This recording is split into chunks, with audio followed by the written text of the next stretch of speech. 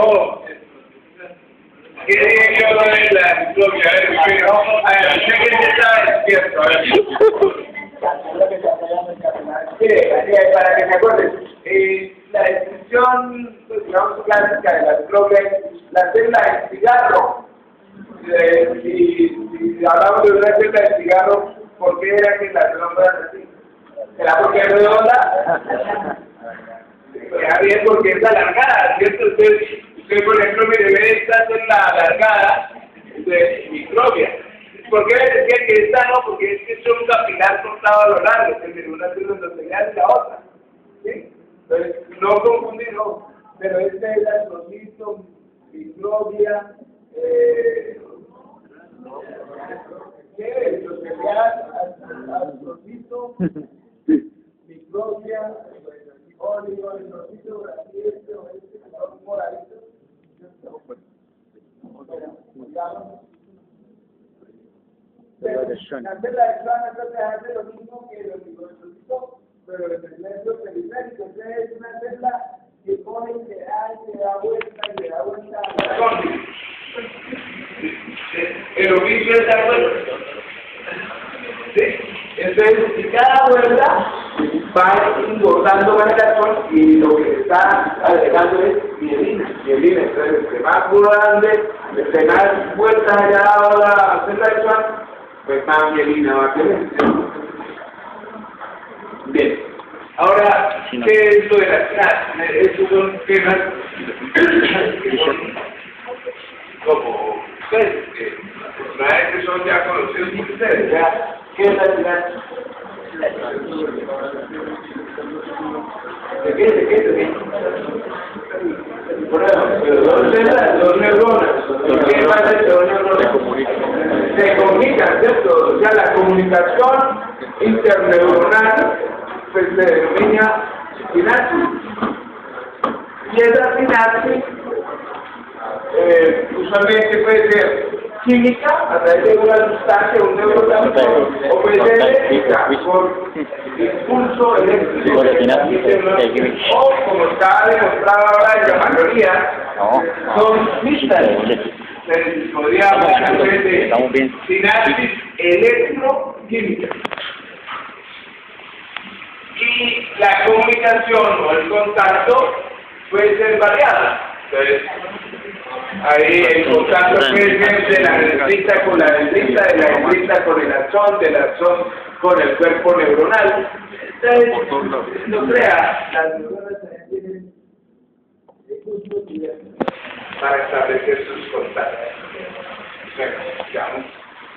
Pero usualmente esta es la vía que uno encuentra más expedita, ¿cierto? La clásica, digamos, que es una sinapsis química donde la terminación axonal-olímpica presenta un abultamiento que se llama el botón presináptico y en ese botón presináptico hay vesículas que contienen en su interior el neurotransmisor. Cuando llega el impulso, este neurotransmisor se libera al espacio intersináptico y ese transmisor libre, o ese neurotransmisor libre, se va a unir a los receptores que están en el espacio o en el, en el componente postsináptico. Una vez que han unido al receptor, eh, a través de esos canales se permite el flujo entonces de iones y se genera otro impulso nervioso que se transmite. Entonces, así va pasando de uno a otro ese impulso a través de esa, de esa estructura que recibe el nombre de. Esos neurotransmisores, hablando de las sinapsis químicas, son de diversa eh, composición, llamémoslo así. Entonces, podemos encontrar neurotransmisores de una molécula o de una estructura muy pequeña, como son la acetilcolina, eh, digamos, el neurotransmisor como más estudiado, conocido, el que ampliamente se distribuye en la placa mioneural, pero también en el sistema nervioso parasimpático, que es el mediador del sistema nervioso parasimpático. Otros, como el glutamato, el espartato, la glucina o el ácido gamma unos son estimulantes, no todos van a actuar de la misma manera. Por ejemplo, el GABA el gamma-aminobutírico es un neurotransmisor inhibidor. El, mientras que el glutamato es un estimulante o excitatorio. Por ejemplo, esas dos sustancias eh, se han manipulado eh, farmacológicamente para, los, para el tratamiento de la, de la epilepsia. Se supone que en la epilepsia lo que hay es neuronas que están descargando muy rápido, o sea, están como muy excitadas, entonces se les pone un, un GABA, ¿cierto? O, un GABAérgico, algo que actúe similar acá para que las frene. O un inhibidor del glutamato, que es excitatorio. Entonces, manipulando esos neurotransmisores, eh, se, se, puede, y, y, eso es lo que hace ahora la, la, la farmacología moderna, con todas las, o no con todas, pero con muchas enfermedades nerviosas y de índole psiquiátrico. ¿sí? Por ejemplo, eh, la serotonina, que no, no, la, no la veo por ahí debe aparecer en algún lado. Ah, la serotonina es un neurotransmisor muy importante. Que bueno, el tiene mucho que ver con la depresión. Entonces, ustedes miran, la mayoría de las drogas que se usan en psiquiatría tienen algo que ver con serotonina, en aumentar o disminuir la captación de la serotonina, de la dopamina, ni se diga. ¿cierto? Eh, algunas drogas de, de abuso, por ejemplo, anfetaminas o la cocaína, que hacen simplemente impiden la degradación o la recaptación de la dopamina y hacen que la dopamina eh, esté siempre presente eh, eh y disponible para la final. Entonces la persona mantiene contenta, acelerada, sin sueño, con ganas de hacer muchas. Entonces, y eso genera bienestar. Entonces, por eso hace que, que la persona quiera seguir consumiendo esa sustancia para seguir teniendo esas, eh, eh, esas sensaciones propias de niveles elevados de, por ejemplo, dopamina. La adrenalina y la noradrenalina son los transmisores del sistema nervioso simpático. ¿sí? Entonces, aumenta la frecuencia cardíaca, aumenta la frecuencia respiratoria, producen vasoconstricción, producen eh, otras eh, broncodilatación, etc. Otros neurotransmisores son neuropéptidos, entre esos neuropéptidos unos parecidos a, a la, al opio o a la morfina. Entonces, las sustancias opioides como las encefalinas y las, y las endorfinas muchas de ellas también responsables de las sensaciones de placer o de bienestar que experimenta el, individuo a ciertas cosas, entre otras al consumo, por ejemplo, de, de morfina. Entonces, eh, en parte todas las adicciones de pronto tienen mucho que ver con la liberación de estas sustancias en sitios específicos del, del sistema nervioso central, por ejemplo, eh, la adicción del, ejemplo, del tabaco, teniendo en cuenta, por ejemplo, la, la nicotina en el núcleo accumbens, por ejemplo. Eh, polipéptidos o péptidos gastrointestinales, como el polipéptido intestinal vasoactivo, ¿sí? o también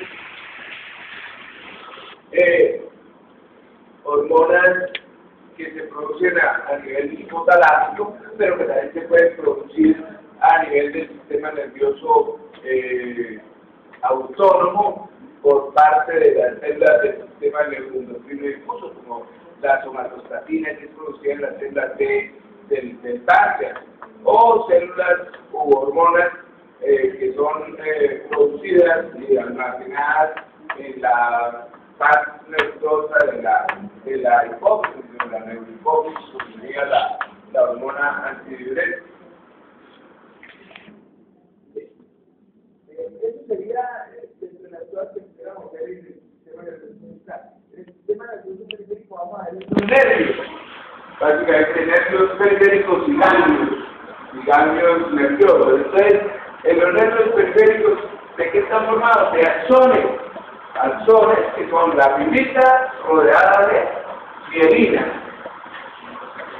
Pero esas axones, eh, a su vez, tienen que estar rodeados por tejido conectivo para que formen forma. Entonces, dependiendo de dónde y qué cantidad estén rodeados por tejido conectivo, entonces vamos a encontrar el epineuro, que es la capa más gruesa que rodea a todo el nervio. Los partículos que conforman el nervio están rodeados por tejido conectivo que se llama perineuro y cada fibra nerviosa va a estar rodeada por el neuro. Entonces miremos la siguiente, que hay una imagen que ¿verdad? Este es un nervio periférico. Todo el tejido conectivo que lo rodea, medio mediano, medio articular, medio que sea. Es decir, todo el tejido conectivo que lo rodea es el epineuro. Pero si nosotros lo cortamos y lo miramos en el vemos que hay partículos. Un partículo, otro partículo, y cada partículo de estos está rodeado de tejido colectivo. Ese tejido colectivo que rodea los partículos se llama el perineuro. Y cada fibra de estas que ustedes ven acá es un axón rodeado por la vaina mielina y por fuera de la vaina, vaina mielina el endoneuro. Entonces arriba vemos esquemáticamente el grueso del nervio por el epineuro, cada nervio es formado por partículas, el partículo rodeado por perineuro, y dentro de cada partículo, pequeños partículos rodeados por endoneuro. Cortado transversalmente, encontramos ya no oligodendrocitos, sino células de Schwann. Las células de Schwann tienen eh, una característica morfología como ondulatoria. Alguien las comparaba como células como bailarinas, como ondulando, como si estuvieran oscilando. A diferencia, por ejemplo, de otras células que se pueden parecer y que ahí hay muchas, ese es un fibroblasto, pero alrededor del fibroblasto hay eh, fibras de polares, porque recuerden, la célula de Schwann produce la mielina, pero pues, quien le da ese procesamiento es el tejido y el colágeno. Entonces, aquí está la fibra de colágeno que se ve rosado, el fibroblasto, mientras que aquí están las que tienen con el aspecto circulatorio, que son las células de Schwann. El corte transversal. Entonces, en el corte transversal, ¿qué vemos? En el centro, el axón. El axón está rodeado por la vaina de mielina. ¿Por qué se transparente? La, la mielina es una gasa, un líquido y el procesamiento que se hace de esos tejidos se utilizan solventes grandes. Entonces, cuando el tejido se pone a la grasa se va. Y entonces nos queda un hueco. Entonces, este hueco está ocupado por mielina. Entonces, la vaina de mielina. Por fuera está el endoneuro. Pero en ese espacio podemos encontrar algunas cosas. ¿Esta cuál sería? ¿Qué sería? La célula de Schwann. Ella es la que le ha dado vuelta. De Schwann. Pero podríamos encontrar, y habría que establecer la diferencia, células de Schwann con fibroblastos, aunque aquí los fibroblastos están más como hacia la periferia, ¿no? Bien, miremos la siguiente, aunque ah, aquí podemos terminar, pero miremos la siguiente ahí como para un adelanto. Esto lo habíamos visto en la clase o en las charlas anteriores. Las neuronas que están por fuera del sistema nervioso y se denomina el ganglio nervioso. Estas son neuronas de esos ganglios nerviosos, de un ganglio nervioso, neuronas de un ganglio nervioso, el soma neuronal, el núcleo, el nucleolo, el ojo de pescado, Y alrededor, alrededor de esas células ganglionares hay unas células cúbicas que las rodean y que por estar alrededor se les dio el nombre de células satélites. Satélites están ahí alrededor. Entonces, las que están aquí alrededor, células satélites. En el, espectro, las células de Schwann. Y listo. Pero seguimos acá porque no podemos acabar todo en la primera clase.